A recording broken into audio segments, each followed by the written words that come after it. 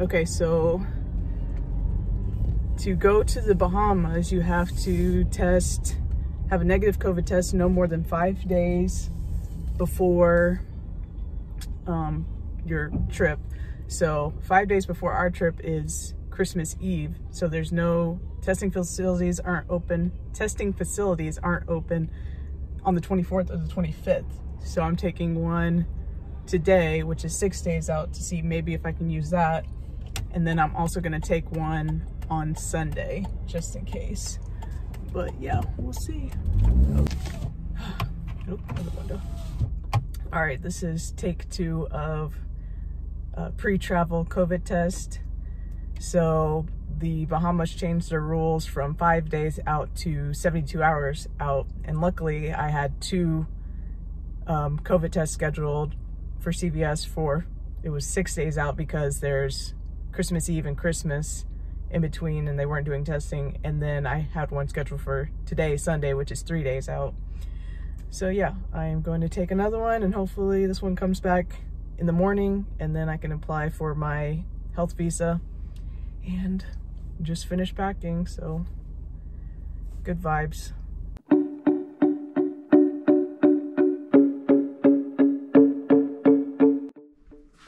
Almost done packing, packing the GoPro, passport, just watching some Bahama videos, and I gotta get all of that and a pair of shoes in my backpack because I'm just trying to take a carry-on. This thing is full. I don't know what I'm gonna do with those. So this thing is, is full full, so I gotta figure out how I'm gonna finagle and get sandals, shoes, and toiletries in this backpack. Okay, I'm all packed up. Um, this is so jam-packed. This is so jam-packed. But my backpack is pretty light. I still got to put my iPad in there, but um, I might roll some extra t-shirts in there just in case. I always like to have extra clothes, but I might save save that room so I can like buy some stuff when I'm there. So just, I'm ready to go, ready to go. Flight is at 8 a.m. in the morning, so yeah. See you soon in the morning.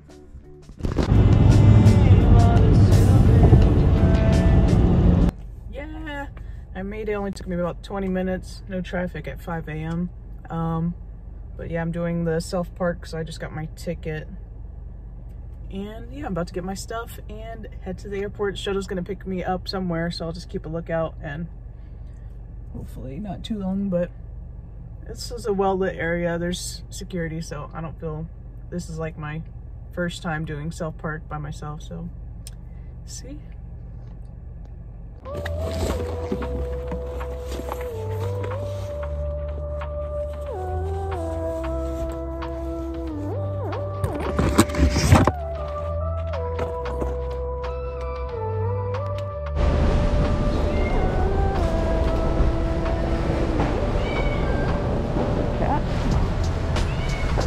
There's a cat.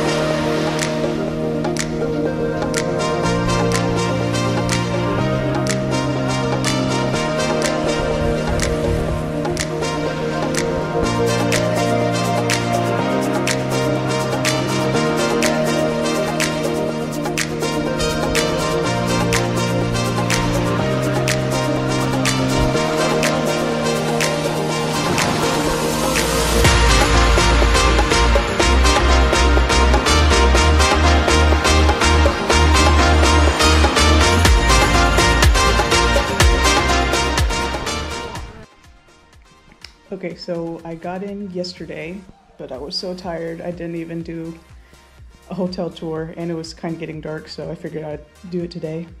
So let me show you the room. Start at the front. It's got little closets and well there was I had to iron my shirt this morning so here's our bathroom. Nice. You got two beds, and they gave us this little gift that's really cute. The rose petals. And then really high ceilings. So that's nice. Little desk. I got all my stuff thrown out already. Everywhere, making a mess. And then we're by the pool, so we have like this little patio set, and then that path goes over to the pool. So it's kind of private, but we can walk over there if we want. And they were playing like, I guess they probably think they have like bands or DJs like every night.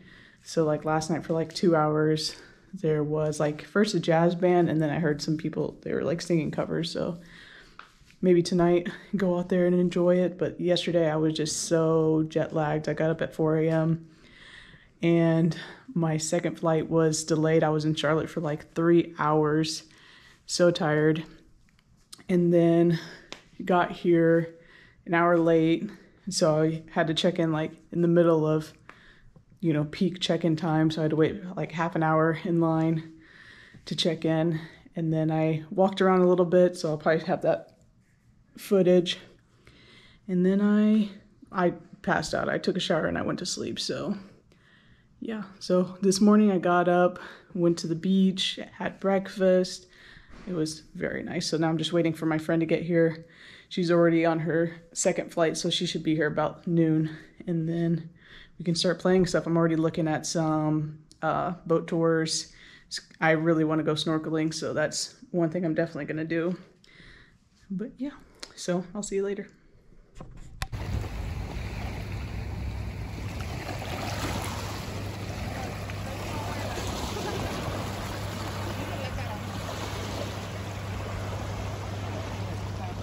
Hotel is somewhere over here. I think it's over there.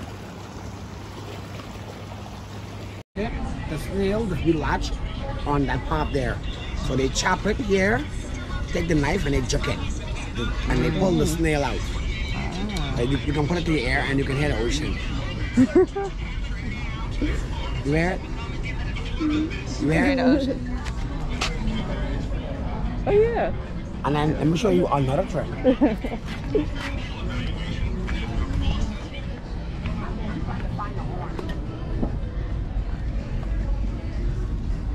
horn on that side. Yeah. Oh.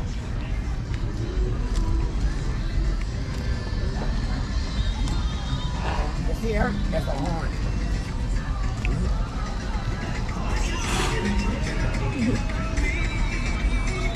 horn. I'm not a good blower. Yeah. It's a horn.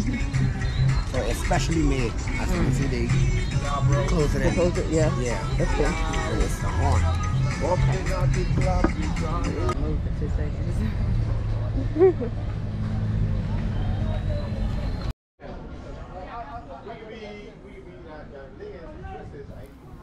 So there were about seven or eight of these conch salad businesses, but we were told by the locals they only eat at certain ones depending on references from friends, from family.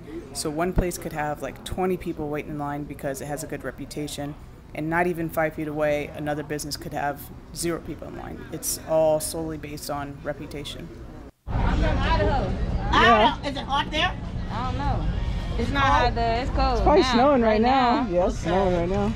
Is that a big state, Idaho? No. So what, I mean, what do you guys really do there? Woo! Farm. No. Farm, okay. I work at home. And corn, corn or, or, or, or animals? You brought any potatoes? Corn. Right, yeah. Corn, okay. No potatoes. No potatoes. They wouldn't let me bring it into the airport. Hi there, guys. I don't remember which one was yours. Oh well. Okay. That one's definitely yours. Okay. Chop it open some more. All right. Tell the conch man I say give you a fucking spoon. Say just like that. Okay. Come. Thank you. So after we ate, we headed downtown and we wanted to visit the straw market.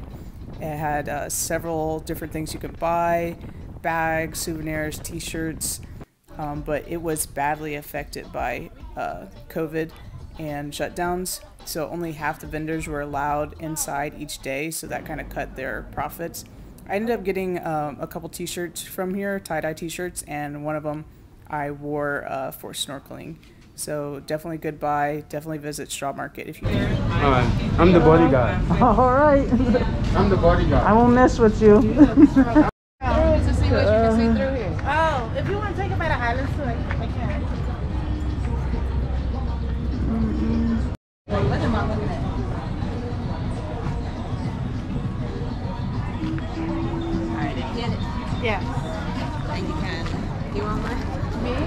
Well, let me over with you because I doing that.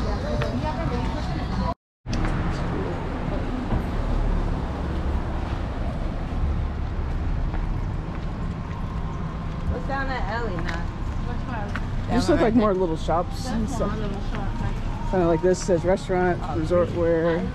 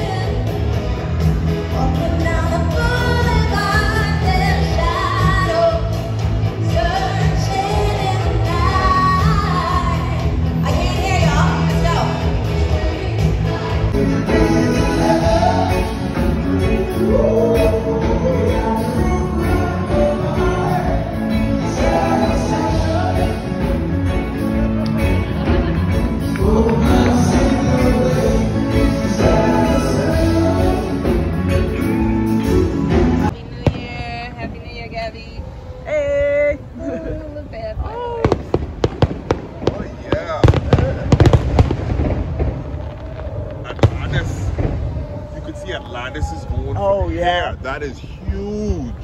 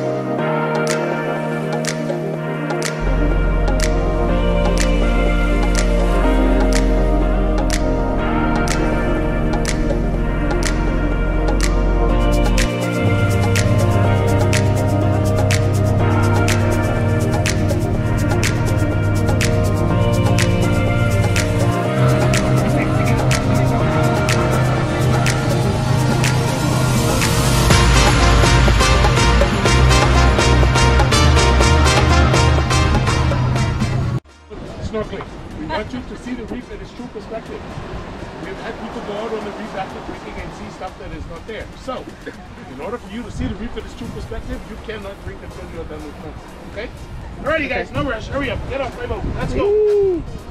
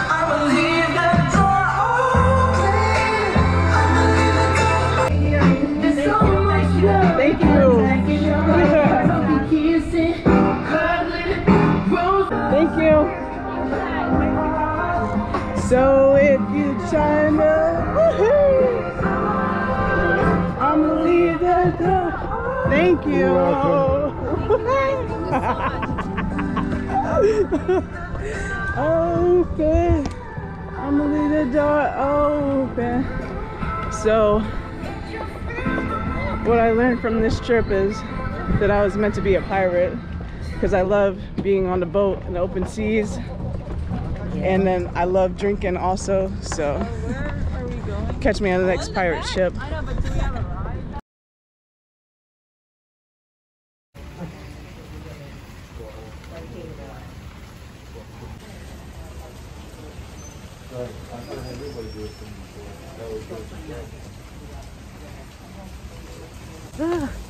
So we just did our COVID test.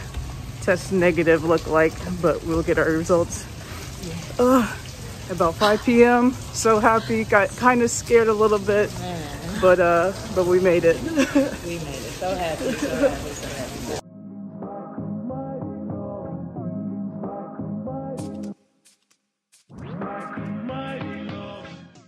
So this was our last day in the Bahamas. It was rainy and cloudy. It had been perfect weather the whole time, so we were kind of okay with this. We were just kind of winding down, so we went next door to the Baha Mar resort. They had shops and uh, restaurants. So I grabbed a hot coffee. We walked around. They had a casino, Uh, we don't really gamble, or I don't really gamble, so we just watched other people play and looked at the lights.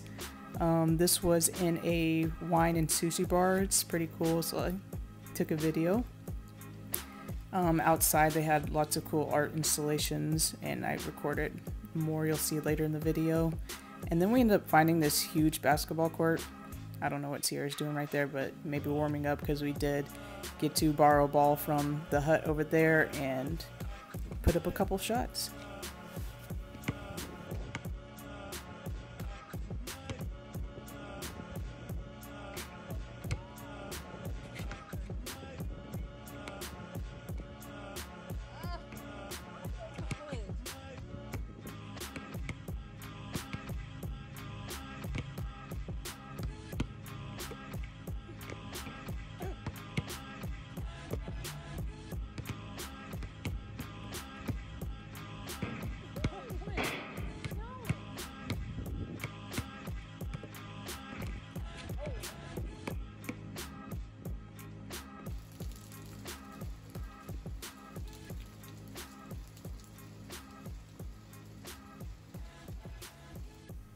So later that night, we walked back over because we saw a Thai place we wanted to try that was at the Baha Mar Resort.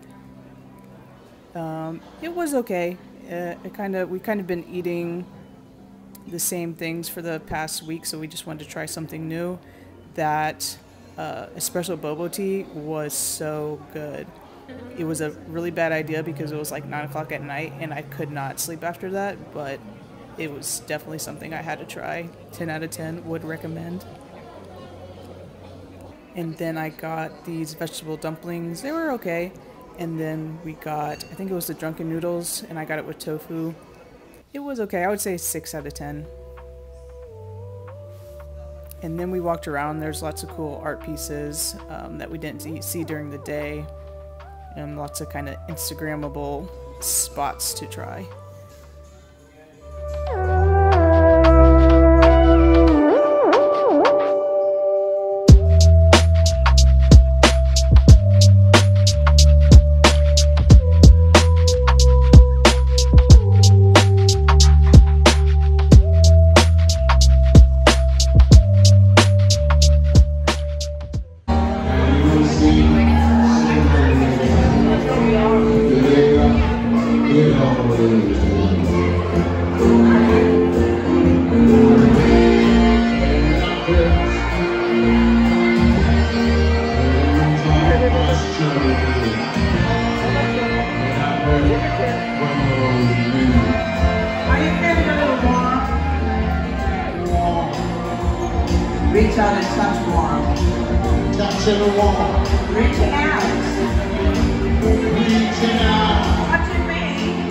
And we are touching.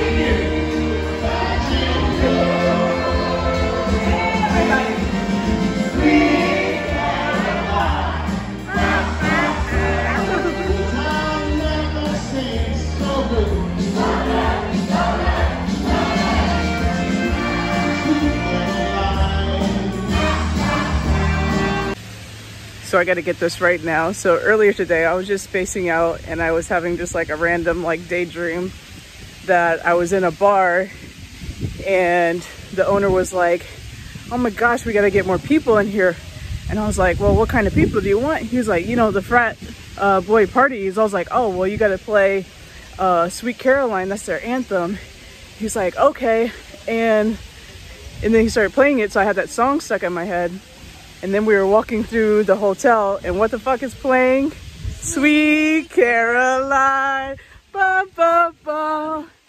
And I just thought that was so funny. So I don't know if that's like premonition or, you know, but you know, that was not a coincidence. Here we are.